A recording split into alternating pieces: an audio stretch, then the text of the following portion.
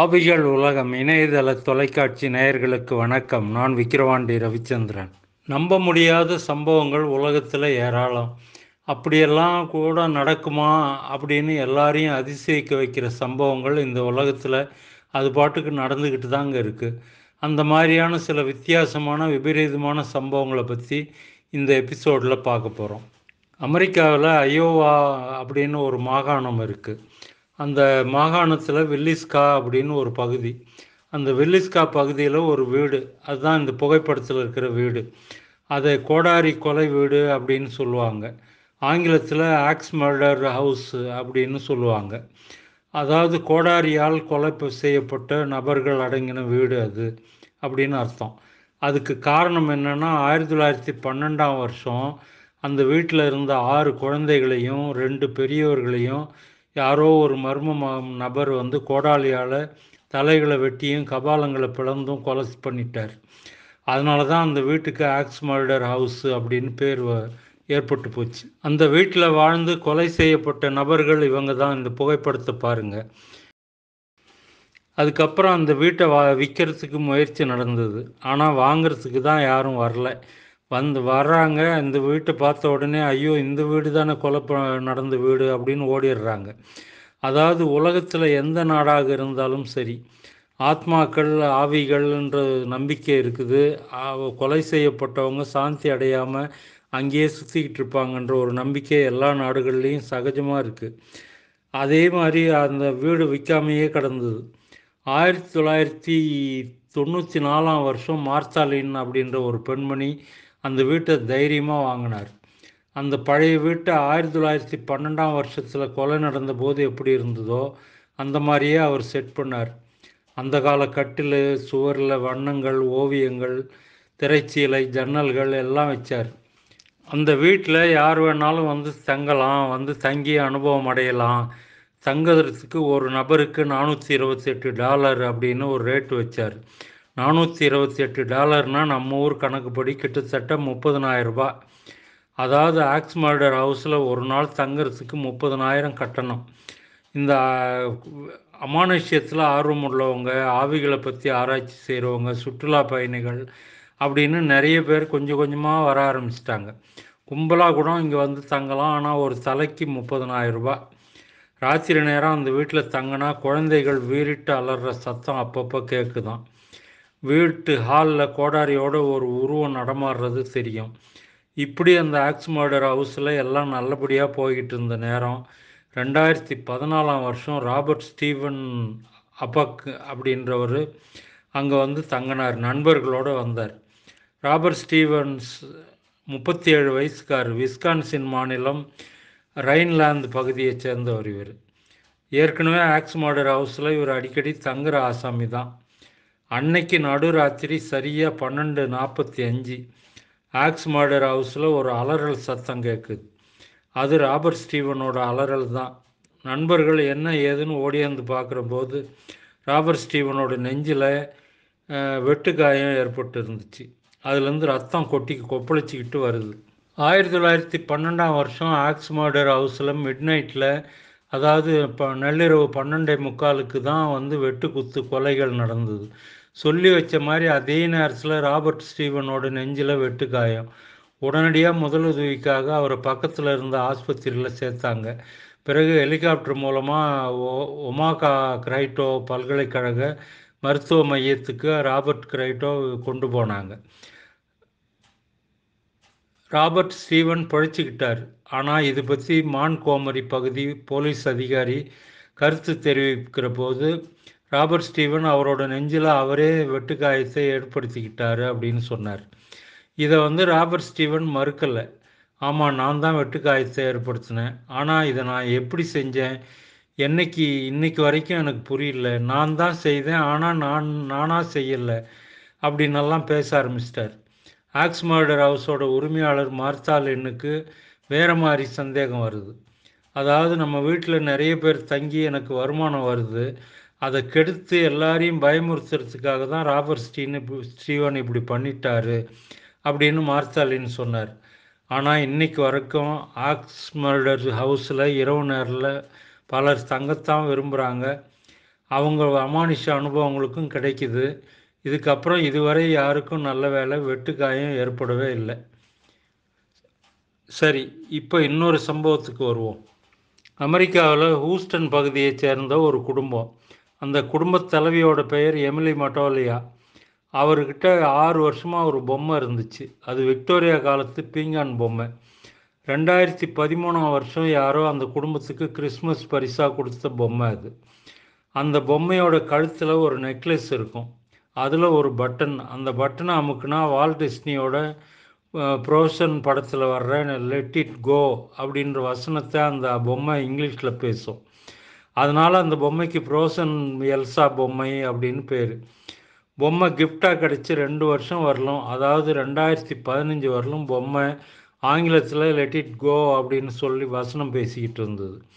திடீர்னு அந்த பொம்மை ஒரு நாள் ஸ்பானிஷ் மொழியில் அந்த வசனத்தை பேச ஆரம்பிச்சது. எல்லாருக்கும் அதிர்ச்சி. பொம்மையோட பட்டனில் பட்டனை எமிலி மடோலியா நல்லா ஆராய்ஞ்சார். அதில் இங்கிலீஷில் இருந்து ஸ்பானிஷ் மொழிக்கு மாற்றுறதுக்கு எந்த வசதியும் இல்லை. அதாவது அந்த பட்டன் எதுவும் அதற்கான பட்டன் எதுவும் அந்த பொம்மையில் இல்லை. அப்போ தான் எமிலி மட்டோலியாவுக்கு ஒரு விஷயம் உரைக்குது. இந்த பொம்மை கைக்கு வந்த பிறகு ரெண்டு வருஷமாக பேட்ரி மாற்றவே இல்லைன்ற விஷயம் நினைவுக்கு வருது. அதனால் என்ன அந்த பொம்மை அடிக்கடி பேசிக்கிட்டு தானே இருக்குது. பேட்டரி ஆஃப் செஞ்சு வச்சாலும் பொம்மை பேசிச்சு. எமிலி மட்டோலியாவுக்கு லேசாக பயம் வர ஆரம்பிக்குது. அதுக்கு அடுத்த நாலு வருஷமாக அதுக்கு பிறகு அடுத்த நாலு வருஷமாக அந்த பொம்மை வந்து அந்த பொம்மையை யாரும் சொல்கிறதே இல்லை. ஆக ஆறு வருஷமாக அதுக்கு பேட்ரி எதுவும் மாற்றலை இருந்தாலும் பொம்மை அதை பற்றி கவலைப்படாமல் அப்பப்போ பேசும் பாடவும் கூட செய்யும். ரெண்டாயிரத்தி பத்தொன்பதாம் வருஷம் டிசம்பர் மாதம் அந்த பொம்மையை தொலைச்சி தலைமுழுக எமிலி மட்டோலியா முடிவு செஞ்சார். ஒரு குப்பைமேட்டுக்கு கொண்டு போய் கொஞ்சம் அந்த பொம்மையை ஆழமாக புதைச்சிட்டு திரும்பி பார்க்காம வந்துட்டார். ஆனால் மறுநாள் அவர் வீட்டுக்கு லிவிங் ரூமில் இருக்கிற பெஞ்சுக்கு இப்போ அடியில் அந்த பொம்மை இருந்தது. அந்த பொம்மை அவரை பார்த்து சிரிச்சுக்கிட்டே இருந்தது. ஒருவேளை நம்ம வீட்டு குழந்தைங்க அதை எடுத்துக்கிட்டு வந்திருக்கலாமோ அப்படின்னு அவர் சந்தேகப்பட்டார். ஆனால் அதுக்கு வழியே இல்லை. ஏன்னா எமிலி மட்டோலியா பொம்மையை புதைச்ச குப்பமேடு அவரோட வீட்டு குழந்தைகள் யாருக்கும் தெரியாது. அதை ஒழிச்சு கட்டுற வேலையை எமிலி மட்டோலியா ரகசியமாக தான் செய்தார். அவர் புதைச்சிட்டு வந்தது யாருக்குமே சொல்லலை. ரெண்டாவது குழந்தைகள் நினச்சா கூட அந்த குப்பையை ஆழமாக தோண்டி அதை எடுத்துக்கிட்டு வந்திருக்கவே முடியாது. இது எதிராக ரோதனையாக போச்சுன்னு நினச்ச எமிலி மட்டோலியா இந்த முறை பொம்மையை குப்பை தொட்டியில் ஆழமாக வச்சு குப்பை வண்டி மூலமாக அதை டிஸ்போஸ் பண்ணிட்டார். ஆனால் அடுத்த நாள் பொம்மை அவர் வீட்டு கொல்லப்புறத்தில் இருந்தது. எமிலி மடோலியாவுக்கு என்ன செய்கிறதுன்னே தெரியல. பேசாமல் அந்த பொம்மையை கொரியரில் போட்டு ஒரு தூரத்தில் இருக்கிற நண்பர் யாருக்காவது அனுப்பிச்சிடலான்னு ஒரு சில யோசனை சொன்னார். இதுக்கிடையில் நண்பர் ஒருத்தர் அவரோட ட்ரக் வண்டியில் முன்பக்கமாக பம்பரில் அந்த பொம்மையை கட்டி கட்டி வச்சு தொலை தூரம் போக போகிறதா சொன்னார். நல்லதாக போச்சுன்னு எமிலி மடோலியா அந்த பொம்மையை ஏற கட்டிட்டார். அதுக்கப்புறம் அந்த ப்ரோ ஃப்ரோசன் எல்சா பொம்மையை இன்னும் திரும்பி வரல. ஆனால் எந்த நேரத்துலையும் அது திரும்பி வந்து ஸ்பானிஷ் மொழியில் வசனம் பேசுமோ அப்படின்னு எலினி ம எலிமி எமிலி மடோலியா குடும்பம் இன்னும் பயத்தில் தான் இருக்குது இப்போ மூணாவது சம்பவ சம்பவத்துக்கு வருவோம். அமெரிக்காவோட பென்சில்வேனியா பகுதியில் ரெண்டாயிரத்தி பதினஞ்சாம் வருஷம் ஃப்ரெட் சுயிஸ் அப்படின்ற ஒரு குடும்பம் வீட்டை பழுது பார்க்க நினச்சிது. வீட்டில் செவறுகளை அவங்க சுரண்ட போது அதிர்ச்சி. உள்ளே எதுவோ இருக்கிற மாதிரி தோணுச்சு. கொஞ்சம் ஆழமாக சுரண்டி பார்த்தபோது சு சுவற்றுக்குள்ளே நிறைய மிருகங்கள் பொ புதைக்கப்பட்டது தெரிய வந்தது. ஆடு மாடு நாய் இன்னும் விலங்குகள் அந்த விலங்குகளோட உடல்களோட வாசனை பொருட்களும் சேர்த்து சுவருக்குள்ளே வச்சு பூ பூச்சி பூசப்பட்டிருந்தது. கூடவே நூற்றுக்கும் மேற்பட்ட கலை பொருட்கள் அதோடு இருந்தது. இது என்ன சமாச்சாரம்னு ஃப்ரெட் சுயிஸ் குடும்பத்துக்கு ஒன்றுமே புரியலைங்க. அக்கம் பக்கம் விசாரித்ததில் ஒன்றும் தெரிய வரல. பிறகு விஷயம் தெரிஞ்ச ஒருத்தரை கூப்பிட்டு கேட்டபோது அவர் ஒரு விளக்கம் கொடுக்குறார். சுவருக்குள்ளே வைக்கப்பட்ட விலங்குகள் எல்லாமே ஆயிரத்தி தொள்ளாயிரத்தி முப்பதுலேருந்து ஆயிரத்தி தொள்ளாயிரத்தி நாற்பது சேர்ந்த விலங்குகள். அந்த காலகட்டத்தில் பென்சில்வேனியா பகுதியில் டச்சுக்காரங்க அப்படின்ற நெதர்லாந்து நாட்டுக்காரங்க வாழ்ந்திருந்தாங்க. அவங்க வந்து போவாவு அப்படின்ற ஒரு மாய மந்திர வித்தையில் நம்பிக்கை உள்ளவங்க. கால்நடைகள் திருட்டு போகாமல் தடுக்க கொள்ளை நோய் வர தாக்காமல் இருக்க பாதுகாக்க இந்த மந்திர வித்தையை பயன்படுத்தி சில ஆடு மாடு மாதிரியான விலங்குகளை அந்த கால டச்சுக்காரங்க சோறுகளுக்குள்ளே புதைச்சி விடுவாங்களாம். சில நேரம் மாட்டு மந்தை குடிக்க தண்ணி வேணுன்றதுக்காக கூட இந்த மாதிரி போவாவு வாய வித்தை நடக்குமா? வீட்டுக்குள்ளே பேய் மாதிரியான தீய சக்திகள் வராமல் தடுக்கிறதுக்கும் இப்படி செய்கிறது உண்டாகும். போவாவு மந்திர வித்தியோட நம்பிக்கைப்படி ஒருத்தர் புதுசாக ஒரு நாய் வாங்குறாரு. அந்த நாய் அவருக்கு விசுவாசமாக இல்லை பழகவும் மாட்டேங்குது. அப்படின்னா அந்த நாய் ஓனரு அந்த அவரோட ரத்தத்தை கொஞ்சம் எடுத்து நாயோட உணவில் கலந்து அது சாப்பிட கொடுப்பார். அது அதுக்கப்புறம் அது விசுவாசமாக மாறிடுமா? இதற்கான சடங்குகள் கூட போவாவு மந்திர வித்தியில் இருக்குது ஃப்ரெ ஃப்ரெட் சுயிஸ் குடும்பம் அவங்க வீட்டு சுவர்கள் எல்லாத்தையும் இப்போ ஒன்று விடாமல் தோண்டி எல்லா விலங்குகளுடைய உடல்களையும் அகற்றிட்டாங்க. அதுக்கப்புறம் வீட்டை புதுப்பித்து சுவர் புதுசாக சுவர் கட்டின பிறகும் அது வீட்டுக்குள்ளே ஒரு வித விதமான ஒரு வீச்சம் அதாவது துர்நாற்றம் வீட்டுக்குள்ளே அடிக்க ஆரம்பிச்சது. என்ன செய்கிறது ஃப்ரெட் சுயிஸ் குடும்பம் அந்த துர்நாற்றத்துக்கு கொஞ்சம் கொஞ்சமாக பழகிட்டாங்க. வேறு வழி? இப்போ நான்காவது சம்பவத்தை பார்க்கலாம். அமெரிக்காவில் லூசியானா டெக்சாஸ் மாநிலங்களில் இத்தாலிய பூர்வீக பூர்வீகமாக கொண்டு குடியேறினவங்கள ஒரு கொலகாரர் குறி வச்சு கொல்ல ஆரம்பித்தார் ஆயிரத்தி தொள்ளாயிரத்தி பதினெட்டாம் வருஷம் மே மாதம் அவரோட அட்டகாசம் ஆரம்பிச்சது. இத்தாலியிலேருந்து வந்த மக்கள் லூசியானா டெக்சாஸ் மாநிலங்களில் அதிக அளவில் காய்கறி கடை மளிகை கடைங்க வச்சுருந்தாங்க. அவங்கள குறி வச்சு தான் இந்த தாக்குதலே நடக்க ஆரம்பிச்சிது. இந்த கொலகாரனோட ஸ்டைல் என்னன்னா ஆயுதம் வந்து எதுவும் கையில் எடுத்துக்கிட்டு வரமாட்டார். ஒரு இத்தாலி குடும்பத்தோட வீட்டுக்குள்ளே நுழைஞ்சாருன்னா அந்த வீட்டில் இருக்கிற ஆயுதங்களை வச்சு எடுத்துக்கிட்டு வந்து பெரும்பாலும் கோடாரி இருந்ததுன்னா கோடாரியை தான் பயன்படுத்துவார். அந்த குடும்பத்தையே கொலை பண்ண ஆரம்பிப்பார். பெரும்பாலும் கோடாரி தான் அவருடைய ஃபேவரட் ஆயுதன்றதுனால பலர் வீட்டுக்குள்ளே கோடாரி வைக்கவே பயந்தாங்க. முதல்ல ஜோசப் மேஜியோ அப்படின்னு ஒருத்தர் அவரோட மனைவி கேத்ரனையும் கோடாரியால் மண்டையை பொளந்து பிறகு கழுத்து அறுத்து கொலையாளி கொலை செஞ்சிருந்தார். அதுக்கப்புறம் சார்லி சார்லி ரோசின்னு ஒரு தம்பதி. அவங்களோட ரெண்டு வயசு மகள் எல்லாத்தையும் கொண்டுட்டார் சரி போலீஸ் என்ன செய்தச்சுன்னு கேட்குறீங்களா போலீஸுக்கு அந்த கோடாரி கும்பன் யாருன்னே தெரியல. அந்த கொலைகாரர் நியூ ஆர்லியன்ஸ் நகரத்திலிருந்து வர்ற வர்றவர்னு எல்லாரும் நம்பினாங்க. அதனால் நியூ ஆர்லியன்ஸ்காரரு அப்படின்னு பேர் சூட்டிட்டாங்க. ஆயிரத்தி தொள்ளாயிரத்தி பத்தொன்பதாம் வருஷம் மார்ச் பத்தொன்பதாம் தேதி கோடாரி கொம்பன் குறிப்பு ஒன்று விட்டுட்டு போயிருந்தார். அந்த குறிப்பில் ராத்திரி நேரம் யாரெல்லாம் வந்து ஜாஸ் மியூசிக்கை சத்தமாக போட்டு கேட்குறாங்களோ அவங்கள நான் ஒன்றும் செய்ய மாட்டேன் விட்டு வச்சிருவேன் அப்படின்னு எழுதியிருந்தார். இந்த தகவல் தெரிஞ்ச பிறகு இத்தாலி மளிகை கடை காய்கறி கடைக்காரங்க எல்லாம் வந்து ராத்திரியில் சத்தமாக ஜாஸ் இசையை போட்டு விடிய விடிய கேட்க ஆரம்பித்தாங்க வேறு வழி அதே மாதிரி வீட்டில் கோடாரி இல்லாமல் எதுவும் பார்த்துக்கிட்டாங்க சொந்த காசில் சூனியம் வைக்கிற மாதிரி எதுக்குங்க வீட்டில் கோடாரி வைக்கணும்? தலையை எதுக்கு பறி கொடுக்கணும்? அப்படின்றது அவங்களோட கொள்கை. யார் செஞ்ச புண்ணியமோ அக்டோபர் ரெண்டாய ஆயிரத்தி தொள்ளாயிரத்தி பத்தொன்பதாம் வருஷத்தோட கோடாரி கொம்பனோட ஆட்டம் நின்று போச்சு. சரி இப்போ அஞ்சாவது மேட்ருக்கு வருவோம். இதுவும் அமெரிக்காவில் தான். இங்கே வந்து இலினாய்ஸ் மாகாணத்தில் இருக்கிற வெயினி பகுதியில் மங்கர் அப்படின்னு ஒரு ரோடு இருக்குது இங்கே ஒரு முறை ஸ்கூல் பஸ் மேலே ரயில் மோதி பள்ளிக்கூட குழந்தைங்க நிறைய பேர் இறந்து போயிட்டாங்க. அதுக்கப்புறம் இந்த விபத்து நடந்த பகுதியில் இரவு நேரத்தில் யாராவது தெரியாமல் காரை நிறுத்தினா காரை யாரோ பிடிச்சி மெதுவாக தள்ளுற மாதிரி இருக்கும். கார் பம்பரில் சிறு குழந்தைங்களோட விரல் ர கை விரல் அடையாளங்கள் இருக்கும். இந்த விபத்தில் இறந்து போன சின்ன பிள்ளைகள் அங்கே நிறுத்தப்படுற வாகனங்களை பள்ளத்தில் தள்ளி விட பார்க்குறாங்க அப்படின்னு தோ எல்லா தகவல் பரவிச்சு. இந்த தகவல் தெரிஞ்ச பிறகு பல பேர் ராத்திரி நேரம் இந்த மங்கர் ரோடு பகுதிக்கு வந்து காரை நிறுத்திடுவாங்க. கொஞ்ச நேரம் கழித்து பார்த்தா கார் அசைஞ்ச லேசாக அசைஞ்சதும் காரோட பம்பரில் பேபி பவுடரை தூவி பார்ப்பாங்க. அதில் பிள்ளைகளோட விரல் ரேகைகள் பதிஞ்சிருக்கும். இதே மாதிரி அமெரிக்காவில் சிகாகோ நகரத்துக்கு வடமேற்கு திசையில் ஒரு புறநகர் பகுதி இருக்குது. இங்கே கியூபா ரோடுன்னு ஒரு ரோடு இருக்குது இந்த கியூபா ரோட்டில் ராத்திரியில் வேக வேகமாக காரில் போகிறவங்க கார் கண்ணாடியை திடீர்னு இறக்கி ஏற்றுனா கண்ணாடியில் பெரிய ஆள் ஒருத்தரோட உள்ளங்கை தடம் பதிஞ்சிருக்கும்.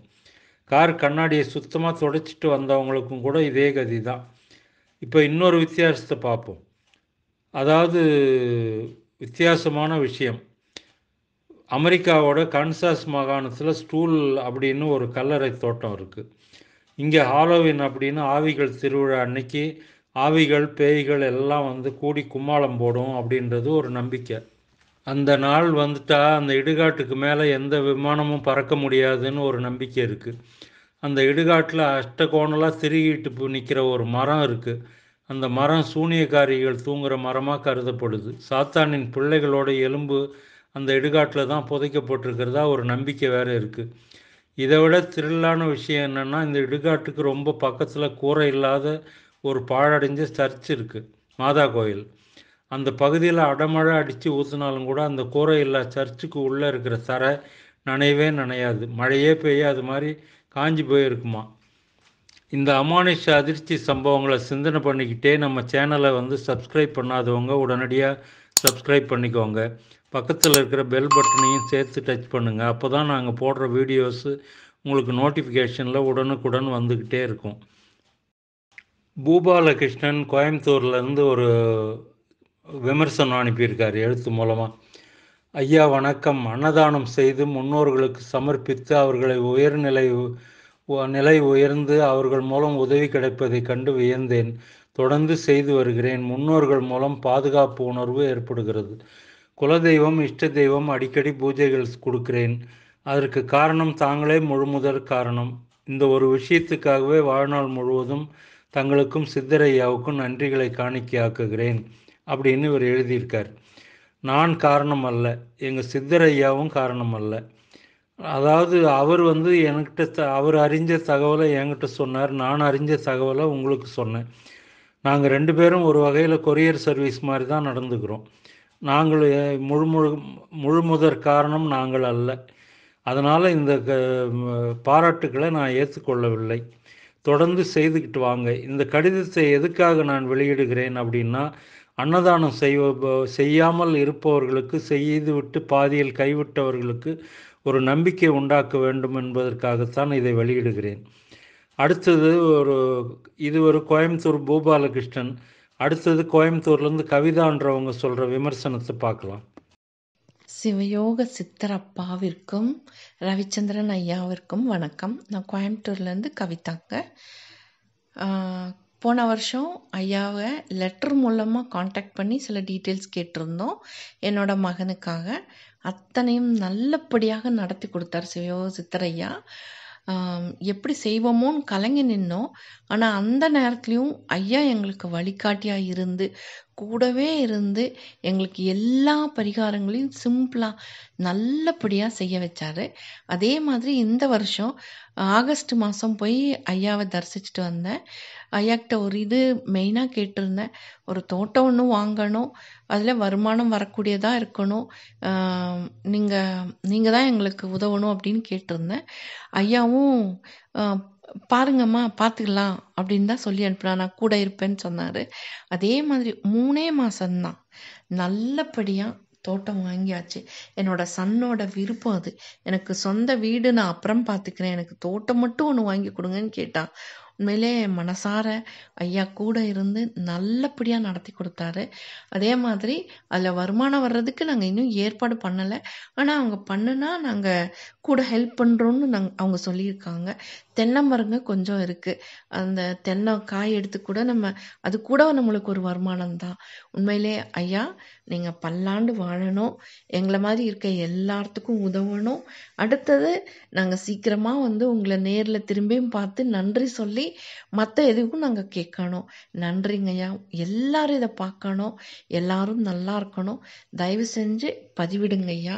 நான் எல்லாரும் நல்லா இருக்கணுங்க ஐயா. உங்களோட சேவைக்கு மனப்பூர்வமான வாழ்த்துக்கள் ஐயா. நல்லா இருக்கணும். சித்தரையா எப் எப்போவுமே நான் டெய்லியும் காலையில் நைட்டு எல்லா நேரமும் சித்தரையாவை அப்பான்னு தான் கூப்பிடுவேன். எனக்கு அம்மா அப்பா யாரும் இல்லை. என் வீட்டுக்காரரும் இல்லைங்கும்போது அவர் மட்டும்தான் எனக்கு அம்மா அப்பா குரு தெய்வமாக இருந்து என்னை வள வழி நடத்திட்டு இருக்காரு.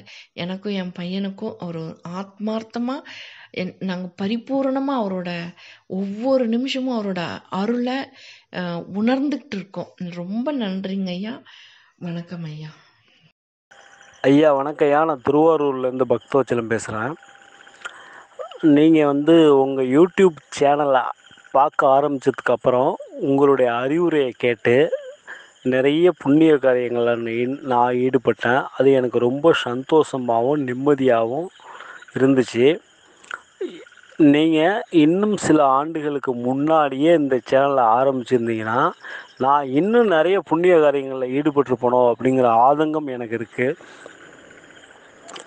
அதுக்கப்புறம் ஆரம்பத்துலேருந்து இன்னைய வரைக்கும் அந்த கேள்வி பதில் பகுதி பகுதிகளில் பார்த்தீங்கன்னா ஒவ்வொரு நேயர்களுடைய ஒவ்வொரு கேள்விக்கும் நீங்கள் தர பதில் ரொம்ப அற்புதமானது.